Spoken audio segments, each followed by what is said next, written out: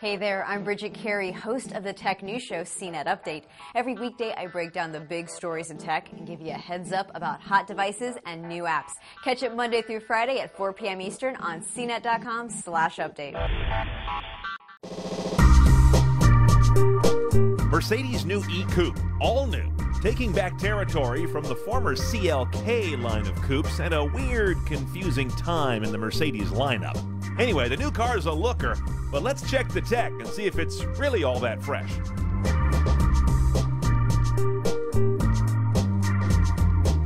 Now, the first thing you notice when you get inside this new E550 coupe is how sore your ass is, because these are the hardest seats in Autodom. I mean, what the hell's in there? A board? It hurts. So I made my drive fairly short. But while I was going the two or three blocks I could stand before the tears were running down my face, I noticed we have a very familiar and very high quality Mercedes head unit and display. Now, even if you don't get this car with navigation, you will have a 7 inch command system LCD. Without nav, it just operates automotive systems. With nav, as we have, of course, you've got the map, live traffic, you see the bird's eye view, some pretty good degree of 3D landmarks and buildings, but nowhere near as full as, say, the most recent Audi MMI, which has just about everything in 3D. But I'm not sure how useful that is, it's just kind of cool. You get around by this controller here, which is sort of like iDrive, but because the menus are different, it's a whole lot better than the early iDrive. It's not a touchscreen, so you got to get used to this controller or use the voice command system. Of course, Bluetooth hands-free is standard on a car in this price class, but interestingly enough, Bluetooth streaming stereo audio, like off my BlackBerry, is not. Also standard 6-disc CD DVD changer. We could pop in uh, Jag, for example. And of course, you can only watch movies when the car is parked and you're still, uh, you can't do that while you're driving, obviously.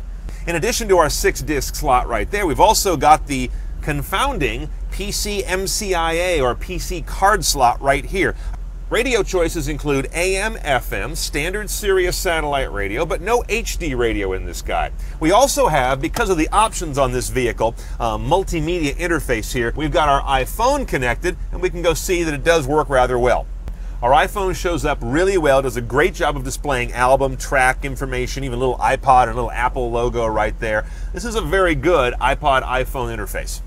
Now, the piece de resistance on this thing is, of course, the music register, which normal people call hard drive. We have six gigabytes of hard drive space on this vehicle that you can fill up with your own music and you're going to fill that guy up from something in your optical disk drive, not from anything attached to USB, although you can do a USB pigtail to that music interface in the glove box. Now, all this goodness is part of the optional premium package, which brings us the nav, the more advanced audio system, the hard drive. If you go bare bones on this car, you're going to get a pretty standard, although perfectly good sounding, 8 speaker, AM FM, 6 disc audio system. Now, in terms of backing this guy up, which is a bit of a chore, it's pretty tight looking out the back. You do have a backup camera as part of a basic premium package, optional, not standard.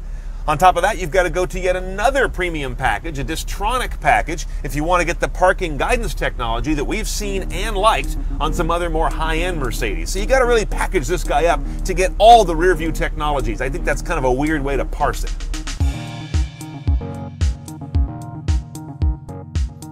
The E-Coupe and the E-Sedan are supposedly peas in a pod, but if you get a look at them, they're really quite different in style, though in subtle ways. Side by side, the coupe's a real success. The sedan is perhaps merely handsome. We have an E550, which means power comes out of a 5.5 liter gas V8 coupled to a 7 speed automatic with paddles, no other choices. There are no turbos or other tricks to deliver 382 horsepower and 391 foot pounds of torque, a nice dose for a car this size. But it's not a sports model, it's more of a muscular guy in a suit. Look for an AMG version somewhere down the road. Hit the Sport button to recurve the powertrain into tighter responsiveness, but I actually found it twitchy, which is never good. And the M button by the gearbox simply drops the transmission into full manual mode, where it responds only to your shifts other than to downshift by itself if you're lugging the engine badly. And by the way, all E-Coupes have that rather ginormous dual pane glass roof.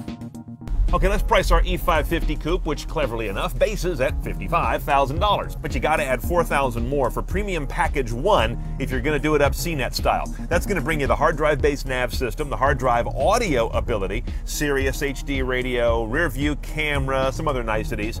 You might spend 2,600 more on top of that for the Distronic package, which is the radar cruise control with the pre-safe automated braking and the Parktronic with the parking guidance system, which on this car actually works pretty well.